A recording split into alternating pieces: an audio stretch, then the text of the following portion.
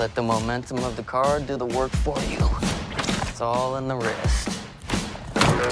Not bad. Now you want to see a thing of beauty? Bingo, bango, bongo. That's good. It's good to be positive despite making zero progress in a year. You thought that they had disappeared forever, but this is the moment we've all been waiting for. Ladies and gentlemen, the Four Horsemen. And the girl horseman.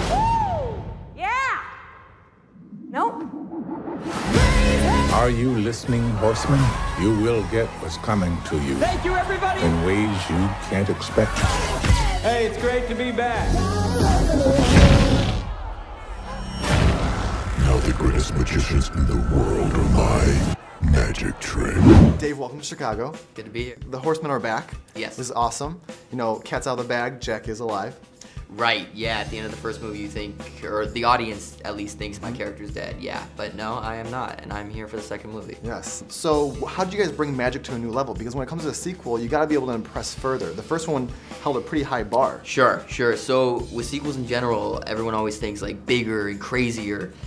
And there are elements of that. Um, there's some pretty cool set pieces, but I think it's also just different. Like in the first movie, uh, the horsemen were always in control. We, we always know what's going on and we're manipulating everyone else. And in this one, someone is playing a trick on us. Yeah. And so we're a little more vulnerable and you get to see like a more human side to the horsemen. Sure. And Jack, he's so good with the deck of cards in this film. Right.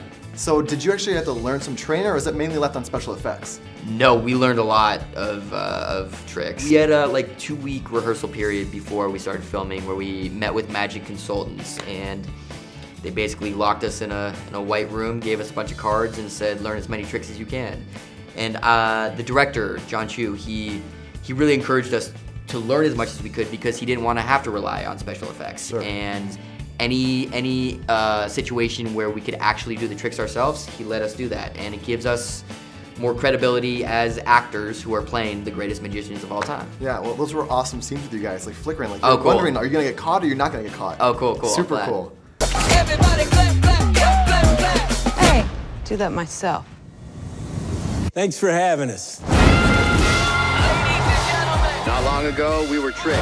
Let's go. Let's go. So it's only fitting that we do the same thing to the person who did it to us. Damn, it feels good to be back. So a lot of people obviously know that your older brother is James Franco. But a lot of people don't know that you also have a middle brother named Tom. Sure. Who's also into the arts. Yes. So was there something in your family that kind of encouraged you guys to do arts, or was it natural for your family? Yeah, b- uh, both my parents, they were painting majors in college, and my mom has been writing her whole life, and so definitely a weird artsy family, and like it's it's incredible. Like uh, my, I mean, my my friends make fun of us where they always imagine us like over Thanksgiving making sculptures out of our mashed potatoes, and it's not far off to be honest. Um, and I just I don't know. I feel very fortunate to come from a family that really kind of encouraged me to go into the arts. That's awesome. And I love your web videos. Like, Oh, Go thanks, F man. Yourself is one of the funniest things Oh, I've ever good, seen. I'm it's glad. hysterical. um, but just going back to the horsemen, if you could have one word for each of your fellow horsemen, what would describe them in one word? So, like Woody Harrelson, one word. Um, uh, fun, fun. I like Jesse Eisenberg. Jesse is uh, witty, Okay. And then Lizzy Caplan. fearless. Okay. And she was a new addition Yes, and a love interest, kind of. yes, yeah. So we have a little bit of a love story. It's hard to like cram a love story into a movie like this. There's so much action. It's nonstop. But we uh, we tried to play it up as much as we could. We would meet with the the writer on our days off to try to like find any little moments, even if it was just a look, to try to like build this this arc of this love This story. quiet love story happening. Exactly. And so it's a weird love story. I mean, she's like extremely aggressive. She's more of like the dude in the relationship. Sure. I don't know. I think it's cool and I think it's different. So then what about girls? Like relationships? what? Look, it's not something I'm proud of, but every girl I get close to, I end up taking their trust. And then their wallet. So you, uh, you take their wallets? You ever take their belts? Oh, I'm sorry. Did you think that I was like those other girls? Jack.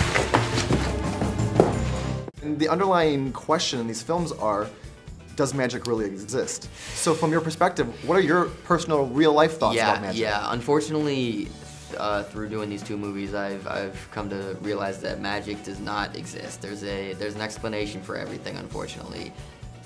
But I still I, I have more respect for magicians than ever at this point because I just I know how much work goes into the simplest trick. Like they spend years, years sometimes for something that just looks like anyone can do it. And I don't have that kind of diligence and work ethic. And so I just I really admire what these guys do. Awesome. Yeah. Well, the movie comes out June 10th, Yes. and that's your birthday weekend. You're June 12th. June 12th. So your birthday weekend is the weekend of Now You See Me 2. Exactly. So I wanted to get you a Chicago gift for your birthday. Oh wow. So you're really good at cards in the film. Sure. So I got you a deck of cards from the Chicago Cubs because there may be a Now Oh. You See oh. Me 3. Oh nice. So just like in the film, you can be part of the winning team because we're doing really well right now. you guys are killing it right now. right?